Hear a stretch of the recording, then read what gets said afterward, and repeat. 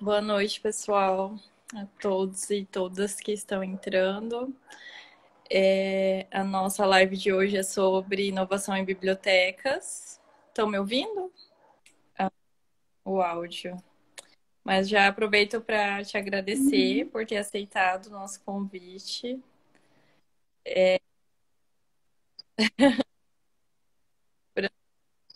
Imagina, Imagina, eu que gente agradeço é o privilégio. bom, assim, eu sou fã Prazer estar aqui com vocês. BU da UDESC. Tive o prazer de conhecer o ano passado, né, aproveitando a ida até Floripa para o Enancib. E fomos muito bem recebidos por você lá. Nossa, eu já era fã, tornei mais fã ainda.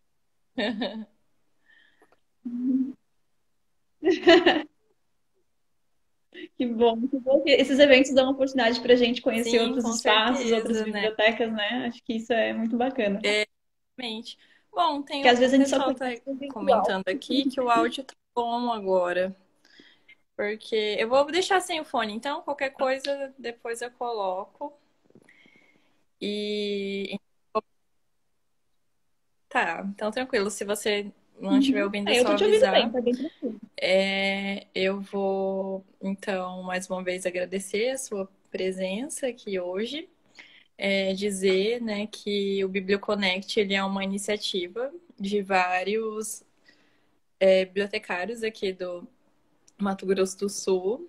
A gente quis é, criar essa proposta, né, com a ideia de dar um pouco mais de visibilidade, né, para biblioteconomia aqui na área.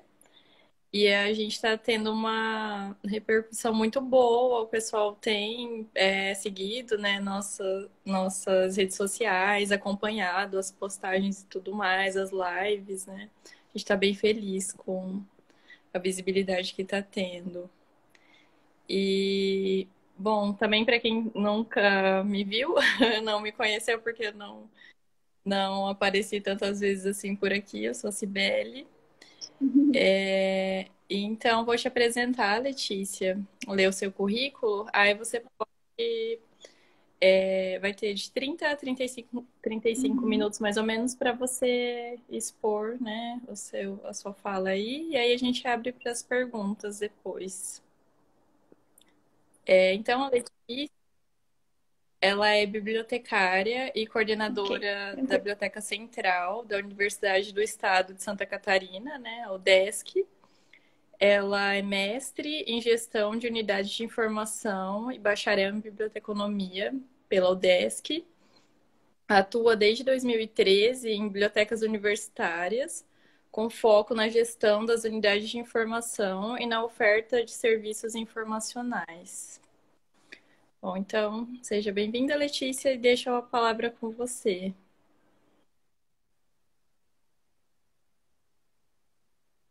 Ah, sim, é verdade, Então tá. desculpa, eu esqueci de Tu vai deixar os comentários? Não sei como que vai ficar pessoal, os essa questão. comentários, né, para não ficar atrapalhando aqui a live. E aí, é, próximo de você encerrar a sua fala, eu abro de novo, aí vocês enviam as perguntas aqui.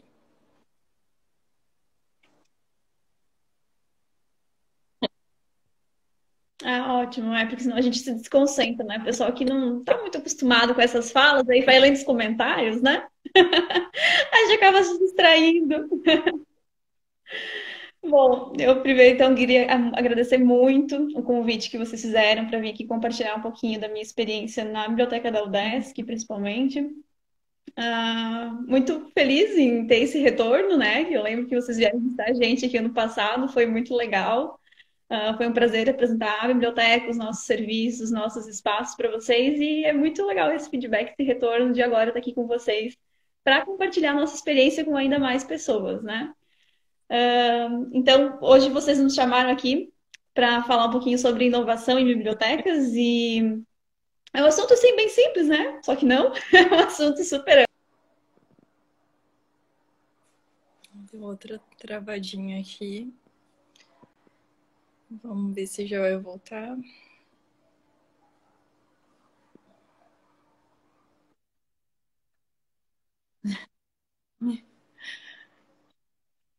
Vamos Tá ver travando, se acho, né? qualquer Deu coisa, se começar a travar muito, eu posso te derrubar e colocar de novo na live para ver se melhora um pouquinho, né? É, sei também. Tá. Eu não sei se é a minha internet ou se é a sua, será? É. Bom, mas vamos continuando, então. Bom, então assim, então não é, não é suficiente a gente perguntar para as pessoas o que, que elas esperam da biblioteca. Muitas vezes a gente precisa mostrar para elas o que, que é, o que, que a biblioteca pode oferecer, né? Porque uma vez, acho que logo eu trabalhava em Balneário Camboriú, na UDESC de Balneário, a minha colega Marcela, ela estava fazendo mestrado na UFSC, e aí uma disciplina que ela fez era sobre estudo de usuários. E aí a gente fez uma, uma um estudo, né, com a nossa comunidade, perguntando para eles, ah, o que que vocês esperam da biblioteca, né? Uma das perguntas era essa. E as respostas vieram muito muito rasas, muito curtas, sabe? Então, por quê? Porque essas pessoas não sabiam o que esperar da gente, elas não sabiam o que a biblioteca podia oferecer, então como é que elas iam falar pra gente o que elas queriam que a gente fizesse, né? Nunca tiveram contato com esse espaço, né? Então, quando a gente se aproxima desse público, quando a gente começa a criar relações, a gente começa a entender a realidade deles. Eles não precisam nos dizer, a gente começa a perceber qual a realidade, quais as dificuldades, quais as necessidades que eles têm e que a gente pode talvez contribuir de alguma forma por meio da biblioteca, né?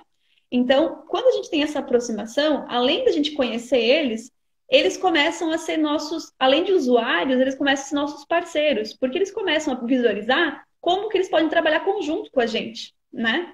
Então, eles deixam de ser como a nossa professora, a professora Elisa, que é a professora do curso de biblioteconomia aqui da UDESC, que ela fala, eles deixam de ser usuários e passam a ser interagentes. Eles não vêm aqui só para receber, eles vêm aqui para contribuir. É. E eu acho que isso é um. É, sabe aquele ponto da virada? Aquela virada de chave?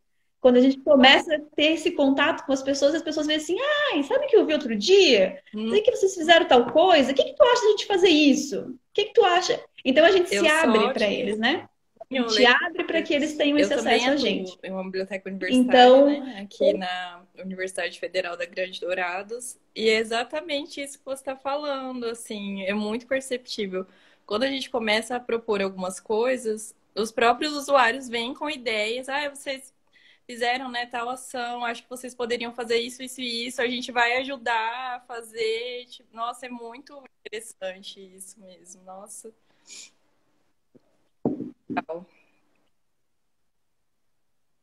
Não, é demais, né? Quando a gente começa a criar essa relação, é, cria uma relação de um vínculo, né?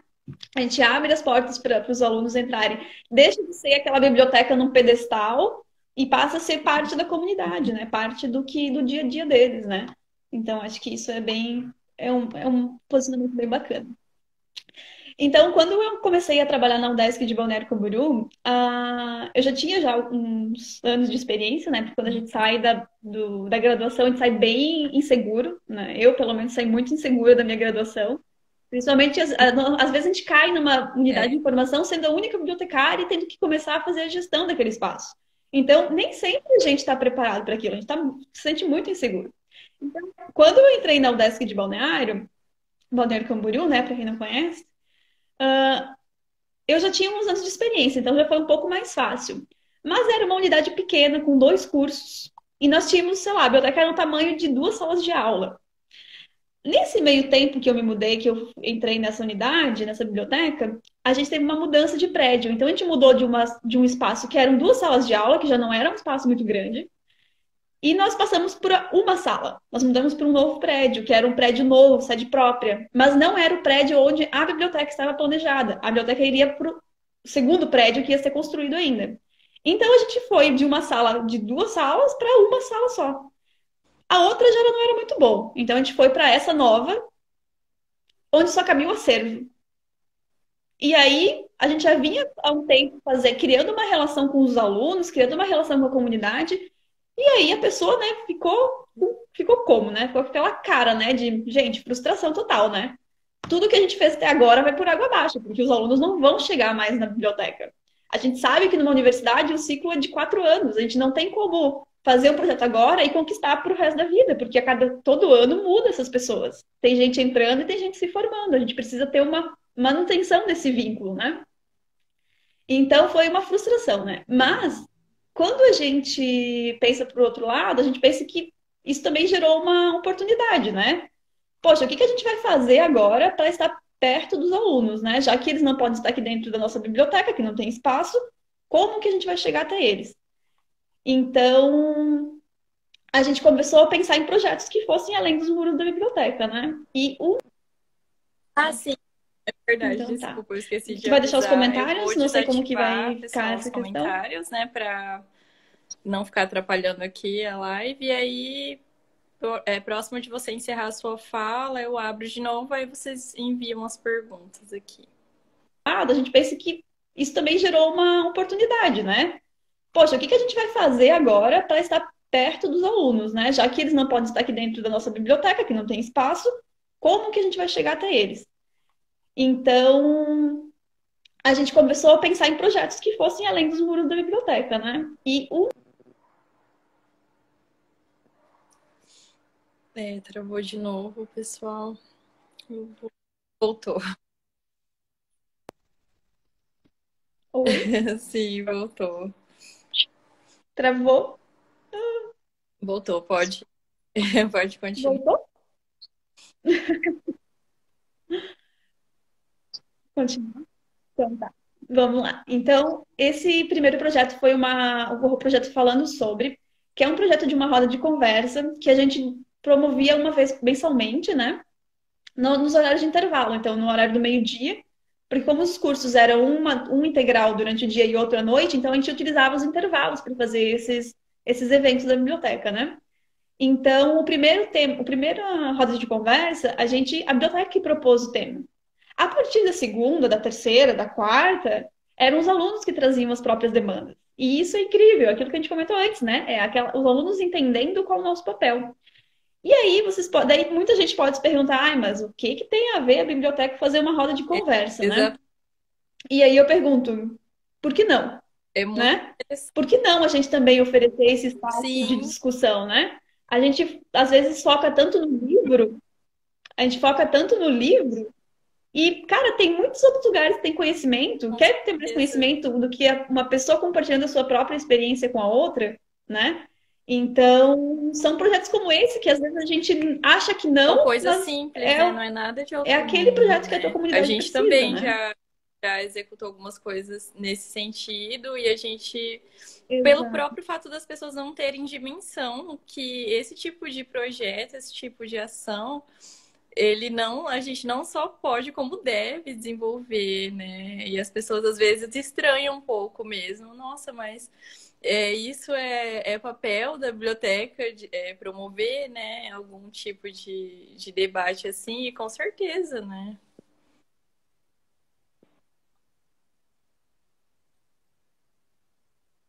Sim, a informação e o conhecimento, né? A gente tem que estar mais é promovendo a circulação, promovendo os debates, né? Acho que ali a gente constrói também com a troca de conhecimentos entre as pessoas, né? Bom, outro projeto que a gente também desenvolveu na época foi um projeto que foi idealizado pela minha colega, na época bibliotecária, a Karen Vanelli, que a gente chamou de, que ela nomeou de piquenique literário. Então, esse projeto ele tinha como ideia a gente criar, já tem outros projetos com esse nome por aí, mas a ideia é que a gente criasse um espaço de cultura para os nossos alunos. Então, como o nosso centro ele era um pouco afastado da cidade, muitos alunos passavam o dia inteiro lá.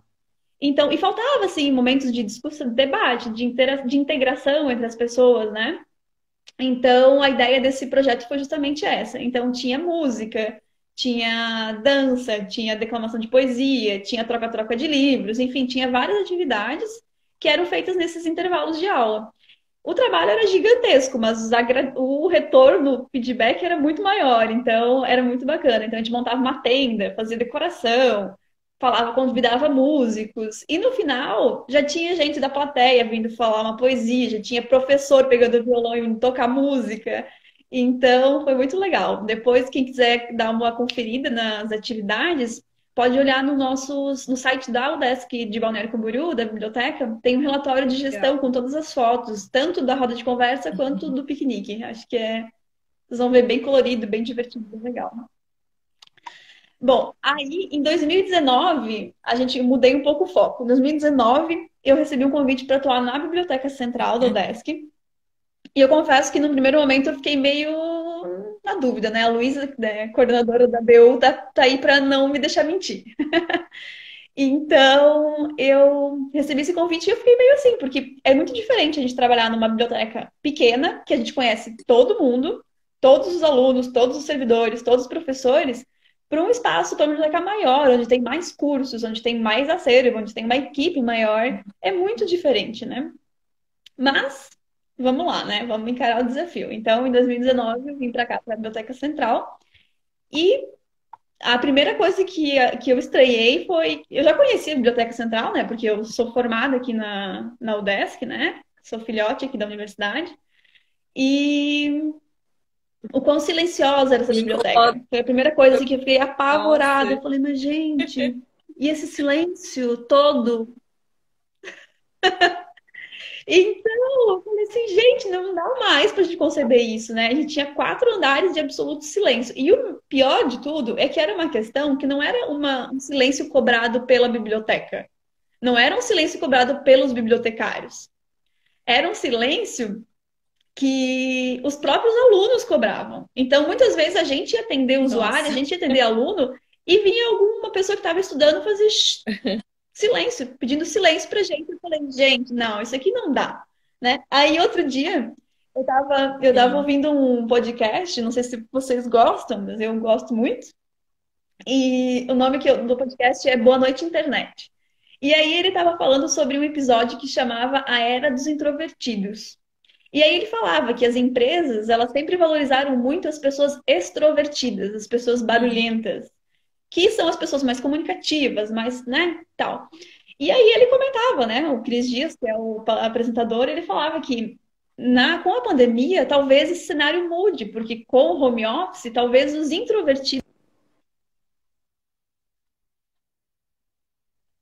E justamente porque não tem esse contato tete a tete, né? É só contato meio que assíncrono. E aí eu estava trazendo um pouco para nossa realidade e eu passei, parei para pensar que as bibliotecas eu acho que foram na contramão do mercado. Sim. Nós sempre valorizamos os introvertidos, né?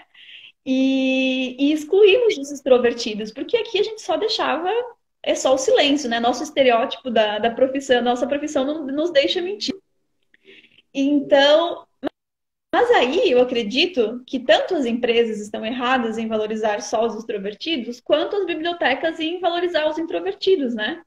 Porque a gente, principalmente as bibliotecas, como espaço público, a gente não pode ter essa restrição. A gente não pode limitar apenas a um tipo de perfil ou, ou outro, né? Nós precisamos atender todos eles, nós precisamos incluir todos os públicos com todos os perfis. Então, essa realidade que a gente tinha na Biblioteca Central, ela, ela me incomodava absurdamente, assim. A, a Luísa, minha colega, ela tá aí para comprovar. Eu falo assim, gente, isso não pode, em pleno século XXI, a gente aceitar uma coisa dessas, né? A gente muda, né? Como é que a gente muda esse cenário? O que que a gente faz para mudar, né? Então, logo que eu cheguei aqui na Biblioteca Central, o nosso sistema de bibliotecas da Biblioteca Universitária, a gente criou uma nova identidade visual, né? Acho que foi em eu março que a gente lançou a identidade e em maio eu vim trabalhar na Biblioteca Central. E aí a identidade estava linda, né? Para quem não conhece, depois pode ver no nosso Instagram, né? Você pode dar uma conferida lá. E vocês estão me ouvindo? Sibeli achou que o som tá sem áudio. Então tá. Tá, onde é que a gente estava? Ah, então, daí quando eu cheguei aqui, né? Que eu vi aquele silêncio todo, né? Então a gente criou a nova identidade visual. Aí vocês pode depois ver no nosso, nosso Instagram, né? Você pode dar uma olhadinha lá como que ela é. Mas a identidade visual é toda linda, toda colorida, toda divertida, maravilhosa, né? E a nossa biblioteca com aquela cara de hospital, né? Falei, gente, não dá. Não dá pra gente ter uma biblioteca, uma identidade linda dessa e uma biblioteca com cara de hospital e com aquele silêncio, né, monstruoso. Então, a gente começou a pensar Sim. em projetos para desenvolver na, nosso, na biblioteca. Né? O que, que a gente pode fazer para mudar esse cenário? E lançou um edital de para criação de espaços inovadores de ensino, que é um edital para cada centro de ensino criar uma sala com, com ferramentas, com equipamentos, enfim, um espaço mais inovador, enfim, para estimular o ensino. Só que a Biblioteca Central, ela não é vinculada a nenhuma, nenhuma, nenhum centro de ensino. Ela é vinculada à reitoria da universidade. Então, a gente não poderia concorrer a esse edital. Aí a gente pensou, poxa, não é justo, né? E aí a, gente, a nossa coordenadora, Luísa, foi falar com a Pró-Reitoria de Ensino. Falar assim, olha, a gente acha que a biblioteca pode receber esse projeto, mas a gente não pode concorrer porque nós não temos nenhum centro de ensino vinculado, né? E a gente quer, a gente quer esse dinheiro, porque aí também acho que pode criar um espaço inovador de ensino dentro da biblioteca e atender todos os cursos. E na hora, prontamente, a gente foi aceito. Ela só falou pra gente assim, ó, escreve um projeto, porque vocês não vão nem precisar concorrer no edital. Vocês vão uh, receber o recurso, o mesmo recurso. Nossa. E aí, nessa, nesse ponto que eu comento, né? Eles não saberiam que a gente era capaz de absorver um projeto desses se a gente não falasse para uhum. eles, se a gente não mostrasse isso para eles, né? Então, mais uma vez, a importância de a gente mostrar a que a gente veio, né? Mostrar o que, que a gente tem competência e capacidade para desenvolver também. Então, nós voltamos para a biblioteca, escrevemos o projeto, foi um projeto escrito a várias mãos. E em março de 2020, a gente inaugurou esse novo espaço, Uh, que diferente do que estava no edital, que previa uma sala com espaço inovador, a gente pegou esse recurso e a gente distribuiu pela biblioteca toda. Então, a gente não deixou só numa sala de aula, né? A gente espalhou, deixou toda a biblioteca de uma forma, tentou deixar, pelo menos, mais divertida, mais dinâmica, mais acolhedora, mais atrativa para os alunos. Então, o que, que a gente fez? A gente separou os andares por nível de silêncio, então cada andar tem estudo em grupo, estudo individual, né? E compramos móveis novos, compramos sofás, compramos puffs, compramos grama, tapete, enfim, a gente pintamos parede, pintamos as paredes com a nova identidade visual, deixamos, tentamos deixar o ambiente mais descontraído mesmo. Mas não só isso, né? Então, os espaços que a gente criou, os novos espaços, dentre eles tem um espaço coworking, que a gente chama o nosso espaço de estudo em grupo, que diferente da gente deixar salas de estudo em grupos separadas, a gente deixou um, todo o terceiro andar aberto, com espaço para estudo em grupo. Então, vai ter mesa, vai ter puff, vai ter arquibancada, vai ter várias coisas. Já, já tem, né? A gente inaugurou em março. Então, para atender tanto a pessoa que precisa de um silêncio, a pessoa que precisa de uma concentração, tanto a pessoa que precisa do estudo em grupo, né? Uh, criamos também uma sala dinâmica, que é uma sala que dá para utilizar para eventos, capacitações, rodas de conversa, reuniões, de clube. É uma sala que tem carpê, almofada, arquibancada, cadeira empilhável. Então, é uma sala bem versátil.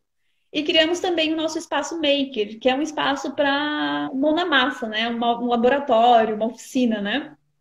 Então, que também foi inaugurado, mas a gente ia começar a desenvolver as oficinas, a promover o espaço agora em março.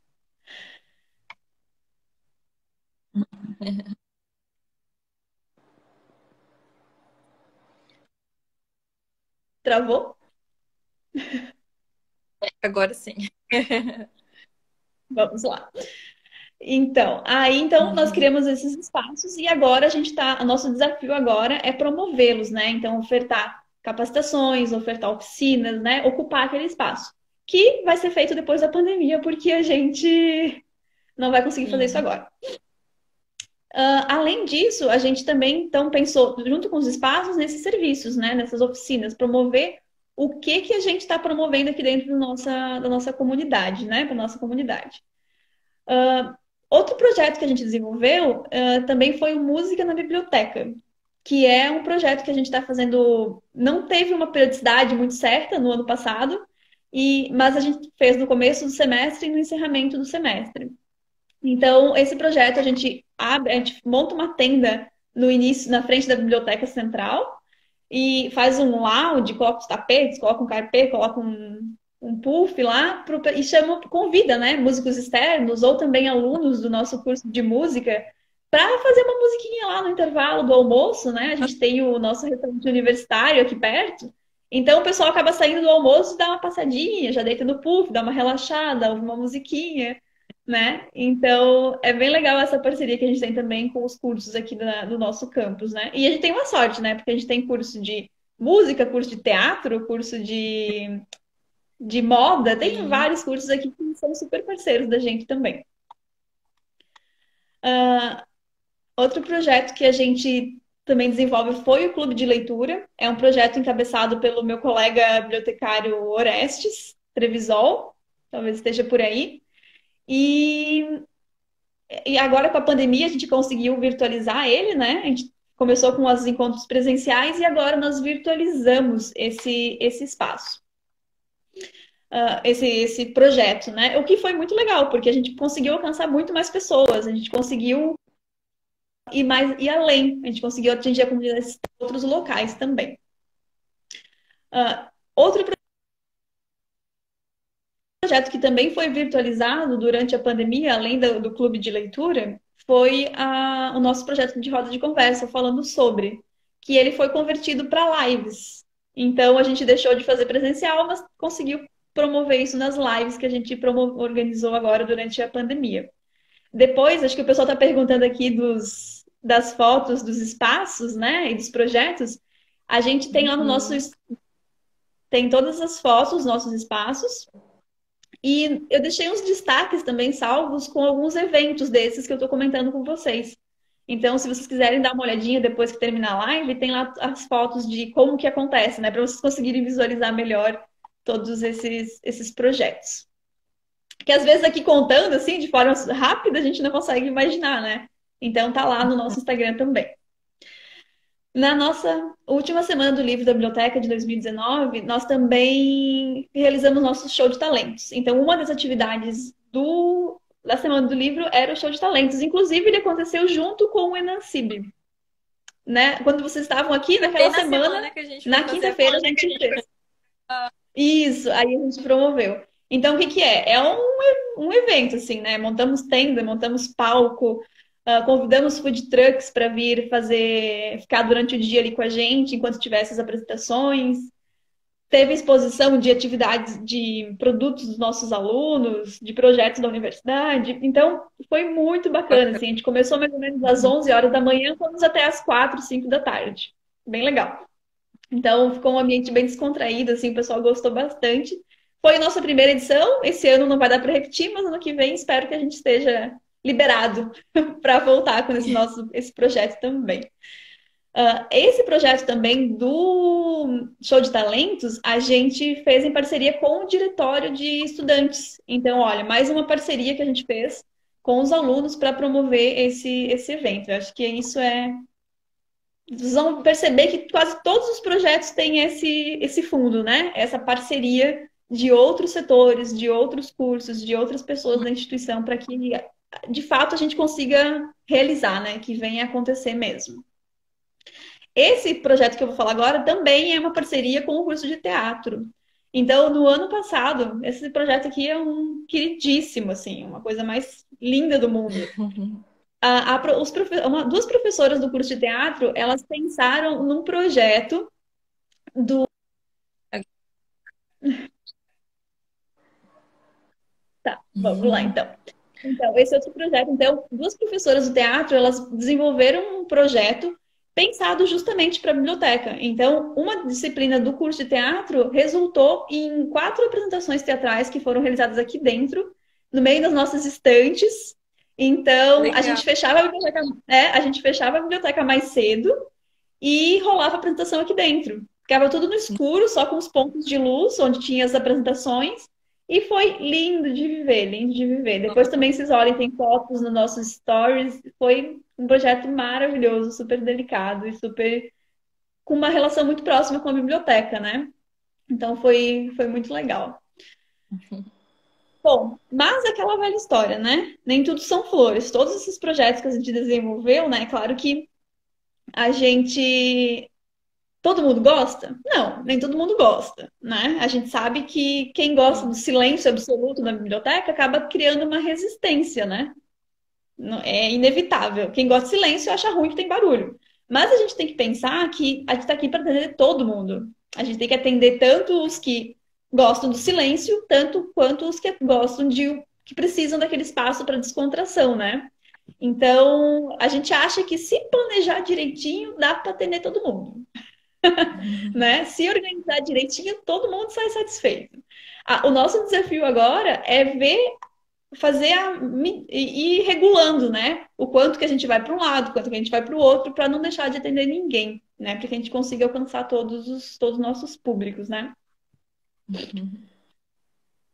Bom, então a ideia dessa agora de 2020, nós tínhamos um plano de estruturar e criar uma periodicidade nesses projetos. Então a gente queria muito, a gente estava com esse plano de criar, por exemplo, ah, o clube de leitura vai ser todo mês, a roda de conversa vai ser uma vez por mês, enfim, o músico da biblioteca vai ser tais meses, enfim, criar uma rotina, né, uma periodicidade para que as pessoas consigam visualizar como que funciona, qual o funcionamento daquele serviço.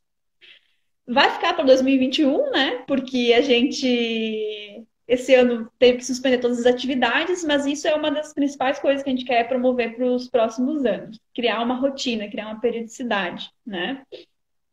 Apesar de a pandemia ter atrasado esses nossos projetos, a gente, por outro lado, conseguiu uh, promover o, a biblioteca no mundo digital, né? Que a gente estava um pouco mais parado nesse sentido. Nós tínhamos nosso Instagram, mas ele era mais informativo, mais informativo dos eventos que aconteciam. E agora a gente está conseguindo produzir conteúdo dentro do Instagram, dentro do YouTube, né?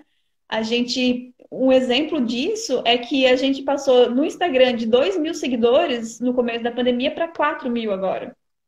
Então a Caramba. gente dobrou o número de seguidores. É, exato. Então foi, uma, foi muito legal assim, ver esse crescimento que a gente teve, né?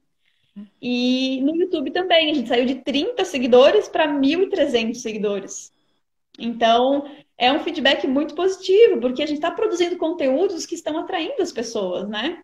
Então, isso foi, foi sensacional. possa continuar, né, até pós esse momento que a gente está vivendo, né? Exato. E acho que é um. Vai ser uma herança que a gente vai levar dessa, desse momento de isolamento social, né? Porque se a gente tivesse no presencial, talvez a gente não tivesse tido tempo para se dedicar tanto para esse para essa vertente, né? E agora a gente conseguiu dar todo o foco para isso, então foi muito muito legal. Uh, bom, o que mais?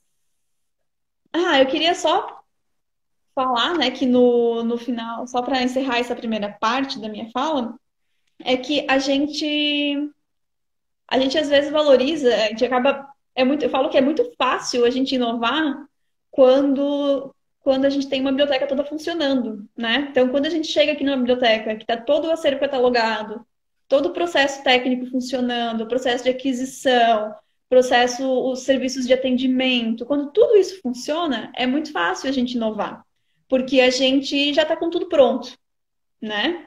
Agora, então, as, eu, a gente tem que valorizar serviços que não estão ali, uh, talvez sendo vistos que estão lá no backstage, que estão lá no processamento técnico. Porque a gente não conseguiria inovar se a biblioteca não estivesse oferecendo os serviços básicos, né? Exato. Então, eu acho que tudo isso é importante que a gente valorize toda a equipe, não só quem está lá fazendo o clube de leitura, quem está fazendo o, a roda de conversa, é importante a gente valorizar toda a equipe, todas as pessoas, porque todo mundo faz parte, contribui para que a gente promova novos serviços e promova novos projetos também para nossa comunidade. Eu acho que é isso. Não sei se alguém tem alguma pergunta. Tem, inclusive eu já, já tenho algumas perguntas.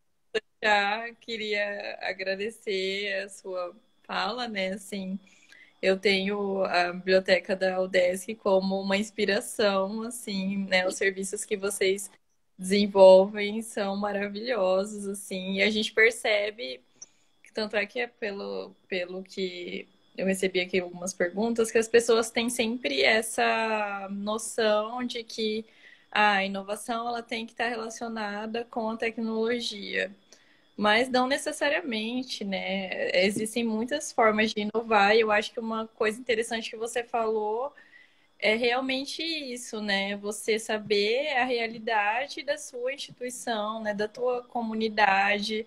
Às vezes o que faz sentido para vocês não faria aqui, e ao contrário também, né? Então é muito é, essa ter essa esse conhecimento, né, de fato, da comunidade e da própria instituição também, né? A gente sabe que tem instituições que incentivam mais a inovação e outras nem tanto, né? Mas é muito interessante isso. E então, uma das perguntas era justamente isso, né? Se a inovação ela tem que estar relacionada com a tecnologia. Qual a sua opinião? É, é, eu acho que não, assim, eu acho que inovação, a gente acaba sendo vinculado muito à tecnologia, porque acho que o conceito surgiu dali, né? A questão da inovação surgiu muito dessa questão da indústria tecnológica, mas eu acho que a gente pode ver inovação, como eu falei no começo, numa melhoria de um serviço, de um novo serviço. O que, que é inovador para a tua comunidade? Né? Um o que, que é uma coisinha simples, né, já pode ser considerado uma inovação, né? Exato, eu acho que assim, a gente tem que estar tá sempre atento ao que a sociedade está precisando, o que a tua comunidade está demandando, né? E aí, possivelmente a tecnologia não é, não é só a tecnologia. Até porque uma das nossas preocupações quando a gente fez nosso projeto do SPIN, que é do Espaço Inovador, foi justamente essa, porque no edital tinha que ter produtos tecnológicos, tinha que ter. E aí a gente comprou impressora 3D, a gente comprou uh, óculos de realidade virtual, aí tinha lá a ideia de ter uma tela interativa. E aí a gente pensou assim, tá, mas o que a gente precisa pensar não é só o que, que a gente vai comprar. O meu medo maior é como é que a gente vai usar isso. Como Exatamente. é que a gente vai promover o uso desses, desses materiais, desses equipamentos, né? Por isso que a gente pensou justamente no projeto numa ideia de oferecer espaços, equipamentos e serviços. Então, a gente já previu lá no projeto que a gente precisava de serviços, de oficinas, de, de eventos, de cursos para promover o uso daqueles materiais. Porque só a tecnologia pela tecnologia não, não vai funcionar, né? O que, que a pessoa vai saber fazer com uma impressora 3D? Não sabe fazer. Ela, a gente tem que ensinar, tem que promover aquele uso, né? Então, a, agora o próximo passo desse do SPIN, quando a gente voltar a uma presencial, vai ser justamente esse vai ser como operacionalizar isso, como colocar esses, esses espaços em, em uso, né? Então é nesse sentido. Sim, tem é, outra pergunta aqui é dizendo como podemos definir uma biblioteca como inovadora? Tipo, como que uma biblioteca poderia ser considerada inovadora? É, é uma pergunta, uma pergunta. Eu me pergunto se a gente precisa definir. Eu me pergunto se a gente precisa definir o que, que é uma biblioteca inovadora, né? Porque tem como definir isso, né? Eu, quando vocês me convidaram para fazer a live, inclusive, vocês falaram, ah, o tema vai ser inovação em bibliotecas. Eu falei, mas meu Deus, o que, que eu vou falar de inovação em bibliotecas? Não sei, gente. Porque a gente acha que o que a gente faz não é inovador, né? Sim. A gente acha que o que a gente faz... É... Né? É. É difícil, é muito difícil mensurar. Eu acho que eu não sei responder como que a gente mensura como uma biblioteca inovadora. Mas eu acho que a gente tem que ter em mente que a gente precisa começar a valorizar mais o que a gente faz. A gente precisa começar a ver o que, que a gente está fazendo de diferente dos outros, né? O que, que a nossa biblioteca está promovendo que está indo além do padrão, além do mínimo, além do básico. E aí a gente começa a ver que a gente está inovando de alguma forma, né? É, tudo que a gente puder fazer além do básico, a gente está inovando, né? Então, acho que isso é. Se a gente tiver essa visão, a gente já está indo bem longe, já está indo à frente de muitos outros, né? Sim, com certeza. Bom, teve uma outra pessoa que perguntou se a inovação em bibliotecas universitárias, é, se ela tem algum limite, né? Algum Esse limite? Pergunta. É, eu acho assim, é, depende do quanto eu acho a sua, a sua instituição incentiva né, a, a inovação. E aí depende também do tipo de inovação que você deseja realizar, né? Não sei. Eu acho que, eu acho que o teu limite é o limite do que a tua comunidade precisa, né? Sim, Se tu também estiver estiver oferecendo coisas que a tua comunidade não está interessada, eu acho que o limite está ali. A gente tem que entender qual a necessidade e até onde a gente quer, deseja ou pretende ir, né? Uh, agora, limite, não, não, não sei se teria limite, né? Depende muito do que você pensa, do que a tua comunidade precisa mesmo. Eu acho que esse é o maior foco. Sim, com certeza. É, deixa eu dar uma olhada para ver se eu acho mais alguma pergunta aqui. Bom, enquanto isso, eu queria também é, destacar um fato que eu achei muito interessante. Eu acho que foi a primeira coisa que eu perguntei quando fui conhecer é, presencialmente, né, a BU da UDESC foi em relação a se vocês tinham algum designer, né, na equipe, porque assim, eu sigo vocês nas redes sociais e eu fico encantada com as artes, gente, é muito lindo. A identidade visual da biblioteca é muito bonita, as, as postagens e tudo mais. Eu tinha muito essa curiosidade, né? Porque não é comum. Eu acho que é, talvez vocês inspirem outras bibliotecas a, a, repensar isso. Por que não, não ter um designer, né, na equipe? Porque acho que faz toda a diferença, né? E você pensar em como que a, a, comunidade acadêmica acaba se identificando, né? o tipo de postagem que vocês fazem, né? Uma forma mais descontraída e tudo mais, não aquela coisa muito séria e fechada, né? Eu acho sensacional. É, então, ó, já vou aproveitar que eu tinha deixado separado aqui um trechinho justamente para isso. Lembra que eu falei das parcerias, né? Então, parceria institucional é vida. A gente precisa cada vez mais nas bibliotecas nos unir com os outros setores da universidade, com os cursos, com os professores, porque rendem frutos muito bons. E a nossa identidade visual é um fruto dessa, de uma parceria dessas. Nós desenvolvemos uma parceria com, inclusive, ó, a professora Annelise Zimmermann, que está aqui do, no, participando da live.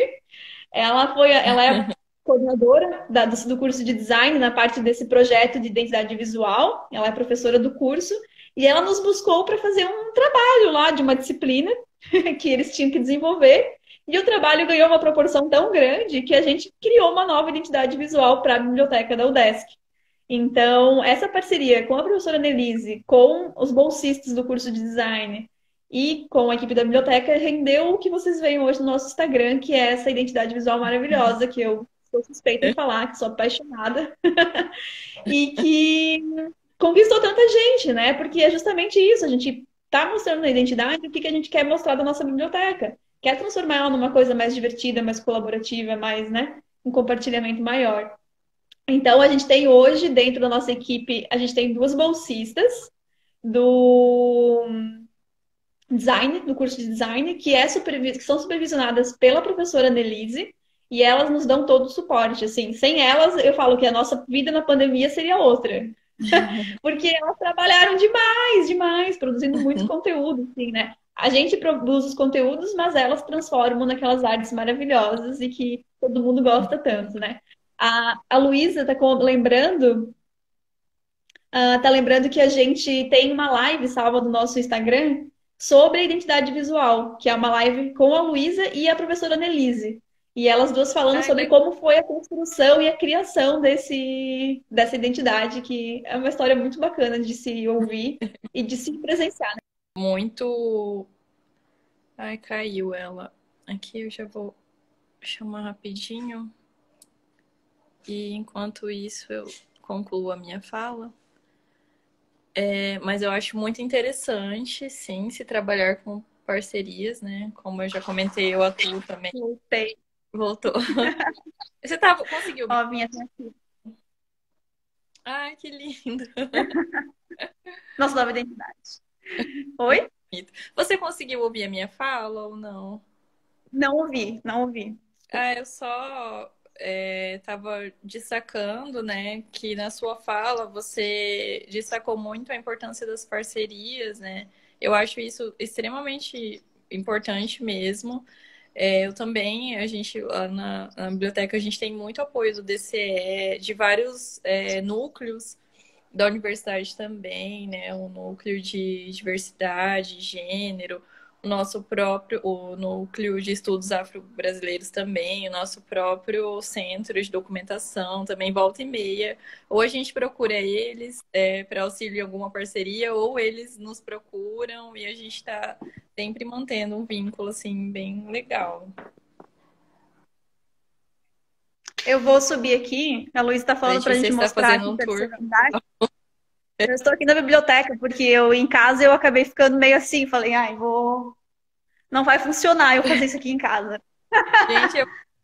olha, quando tá a pandemia, vocês tiverem oportunidade, vão lá conhecer, vocês vão ficar encantados, gente. É muito bonita essa biblioteca, maravilhosa.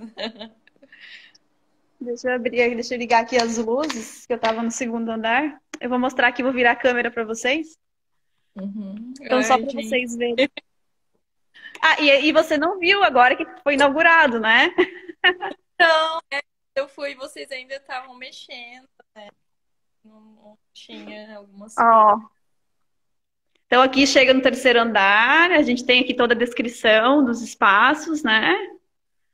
Sim. Aí aqui a gente chega. Faltou nossas samambaias que ficam ali, ó. Que a gente tá. Deixou elas na rua para elas respirarem. então aqui tem nossos sofás, que a gente criou uns lounges, né? Com tapete. Sim. Criamos esses loungezinhos, almofadas. Aqui a gente tem um espaço que é com puffs e grama sintética que a gente colocou aqui. Aqui temos os computadores que a gente colocou, então, para os alunos utilizarem. O pessoal do design fez aqui a adesivagem, toda a identidade de sinalização. Aqui a gente tem umas mesas com rodinhas, com rodízios para conseguir ajustar o espaço, né? Sim. E lá no final a gente fez, não sei se eu vou conseguir mostrar agora,